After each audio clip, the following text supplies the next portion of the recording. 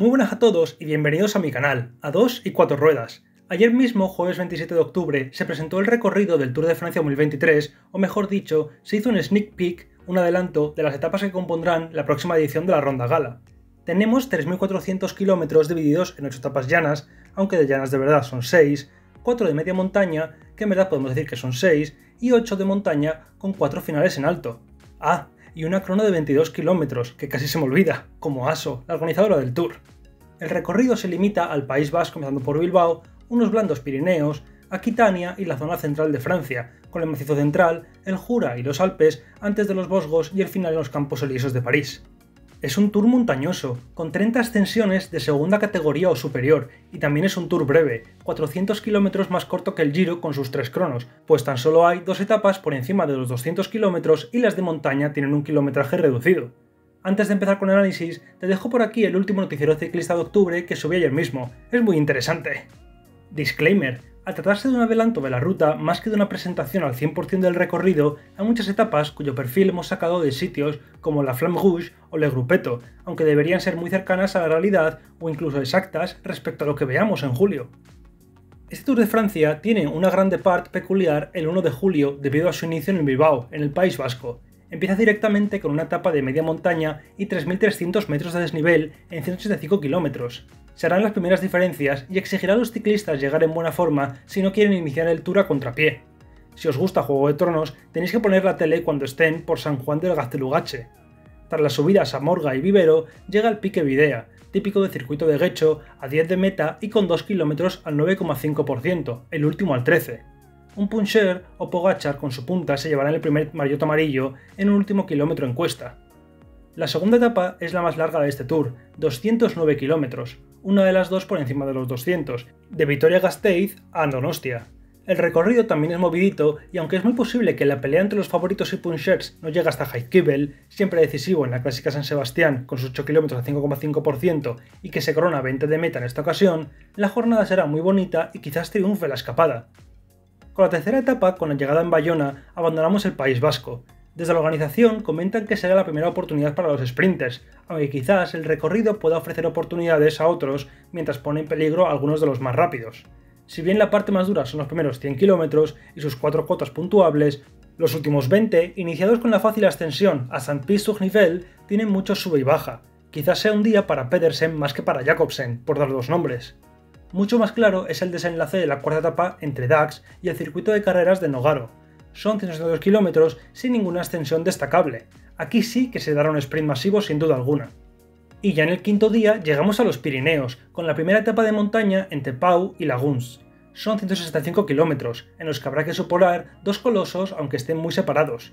A mitad de etapa tenemos el Col de Sudé, 15 kilómetros al 7%, mientras que el Marie Blanc se corona a 20 de meta con sus 7,7 kilómetros al 8,6%, especialmente los cuatro finales al 11. Muy posiblemente esta etapa nos diga quién no va a ganar el Tour. El final es el mismo que en 2020, la primera victoria de etapa de Pogachar en el Tour, aunque ¿triunfará la escapada en esta ocasión? La sexta etapa, con 145 kilómetros, es ya la última en unos Pirineos descafeinados. El Aspen, 12 kilómetros al 6,5%, seguido del mítico Tourmalet, 17 al 7,3%, son bienvenidos, aunque están en medio de la etapa y hay muchos kilómetros entre el descenso del Tourmalet y el final en Cauterets-Cambasque.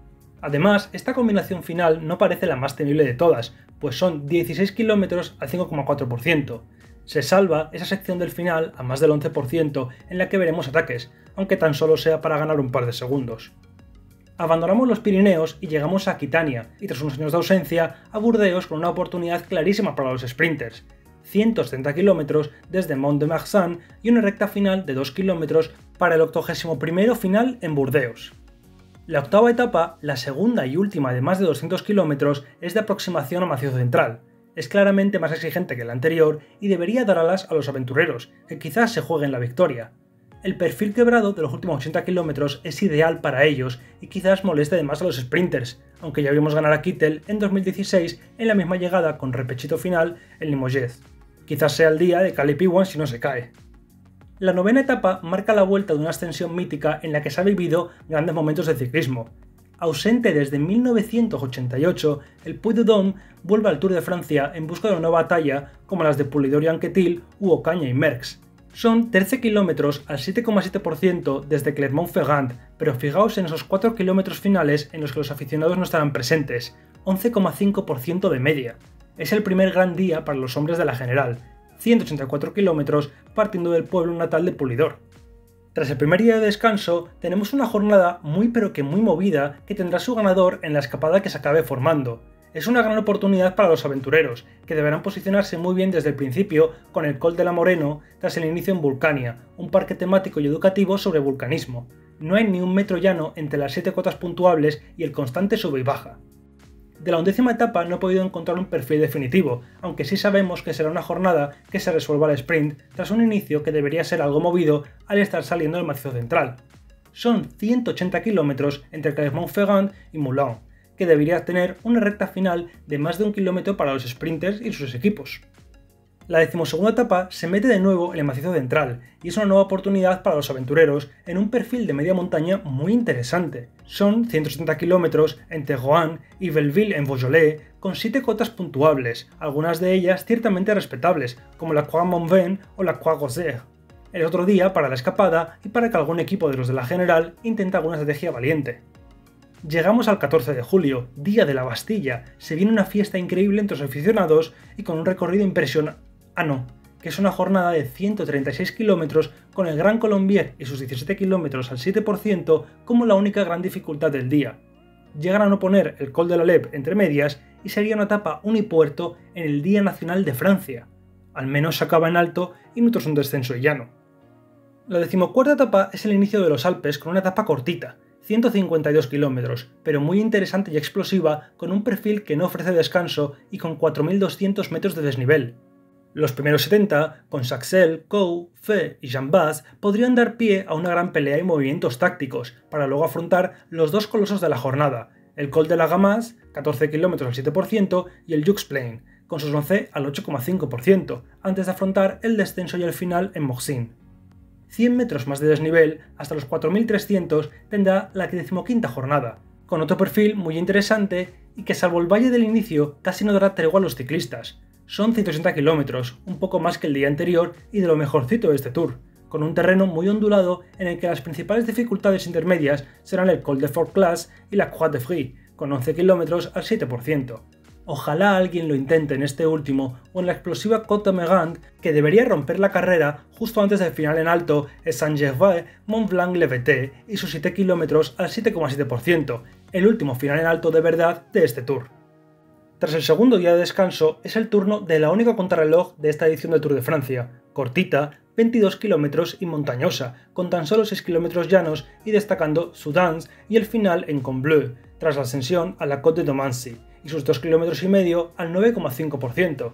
Seguro que marca diferencias, pero ¿es esto válido para una gran vuelta? Ya en las conclusiones hablaremos más de esta ausencia de kilómetros contrarreloj. Y llegamos a la que posiblemente sea la etapa reina de este tour, aunque darles título con 166 kilómetros quizás sea pasarse un poquito. Aún así, el perfil es atractivo con 5.000 metros de desnivel y ofrece terreno para la pelea y el espectáculo, aunque estos dependan más de los propios ciclistas en muchas ocasiones. Las ascensiones a Saisies, Roselon y Longfoy son un aperitivo digno antes de afrontar el Col de la Los y sus 28 kilómetros al 6%, la cima más alta de este tour, Souvenir Henri Desgrange realmente engaña por el descanso intermedio tras el que llega la parte más dura, especialmente esos 5 kilómetros finales al 10% y con un pico del 24. Tras la los se desciende unos kilómetros hasta el final en el altipuerto de Courchevel. La decimoctava etapa abre dos días de transición camino a los Bosgos, en los que podríamos tener dos sprints más. Este desenlace parece evidente para la primera en Bourg-en-Bresse, pues aunque no se haya desvelado oficialmente el perfil, todo indica que será bastante llano, como el que estáis viendo. En la siguiente, el sprint no está tan claro, pues el ondulado terreno con la Quad de como colofón podría dar alas a la escapada mientras dificulta la persecución del pelotón. El final en Poligny viene tras una recta de 8 kilómetros. ¿Será suficiente para pillar a los aventureros? Y en la penúltima etapa tenemos una grata sorpresa, el último duelo entre los favoritos a lo largo de 133 kilómetros en los Bosgos con un perfil montañoso, de nuevo muy interesante, aunque sea bastante corto tenemos el clásico Ballon d'Alsace de inicio con sus 11,5 km al 5%, seguido poco después de una sucesión de cotas de entre 3 y 5 kilómetros en la mitad de la etapa, que a estas alturas se le pueden atragantar a alguno. Tras un largo descenso llega el Petit Ballon, 9,4 km al 8%, perfectamente encadenado con Platzerwasser, 7 km al 8,4%, tras que quedan unos pocos kilómetros hasta el final en Le Max-Stein. Una buena traca final.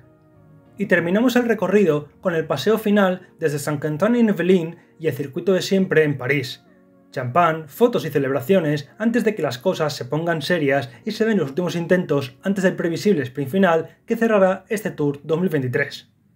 Vamos ahora con unas conclusiones de este recorrido. Para mí no es el más atractivo teniendo todo en cuenta, pero eso no quiere decir que haya un buen número de etapas interesantes que puedan dar mucho juego por muy cortas que sean. Es un recorrido montañoso, con 30 ascensiones de segunda categoría o más, pero les da miedo los 200 kilómetros y encadenar dos puertos fuera de categoría. El paso por las cinco cadenas montañosas está muy bien, con el macizo central y los Vosgos compensando unos Pirineos muy light, aunque puedo entender que no quieras poner muchos colosos ya en la quinta y sexta etapas. Evidentemente, las dos opciones consecutivas para sprinters la tercera semana no son de mi agrado, como tampoco lo es el tener una única contrarreloj casi cronoescalada de 22 km. Se había rumoreado una crono en la sexta etapa o en alguna otra, pero nada de nada al final. Si la que tuviésemos fuese una de esas de 50 km completamente llana, pues oye, me valdría, pero yo siempre soy a favor de meter unos 70-80 km contra crono, cada uno con su opinión, como Proudhon, que asegura que 22 km es lo adecuado porque las cronos paralizan la carrera y limitan ese ciclismo de ataque que estamos viviendo hoy en día. Esta distancia de crono individual tan solo es superior a los 14 km del Tour 2015, aunque en esa ocasión también se celebró una por equipos de 28. En definitiva, Aso ha diseñado este recorrido para sus franceses, para que entre Godou, Bardet y compañía puedan rascar el podio, pero este recorrido también beneficia y mucho a Carapaz, Enric Mas, Superman López, Simon Yates, Hindley, Holanda y a Bernal si se recupera al 100%. Pero ¿sabéis que dos no necesitaron de Cronos para destrozar al resto en la montaña del Tour 2021? Efectivamente, Jonas Vingegaard y Tadej Pogachar. Así que a este recorrido del Tour de Francia 2023 le doy un 5,5 o un 6. Si tuviese una crono más larga y llana, o subiese dos cronos, podría irse al 7,5 y hemos llegado al final de este análisis de las 21 etapas del próximo Tour de Francia. Hacedme saber en los comentarios lo que opináis de la ruta y la nota que le pondríais. No olvides darle like al vídeo y suscribirte al canal. Nos vemos en la próxima.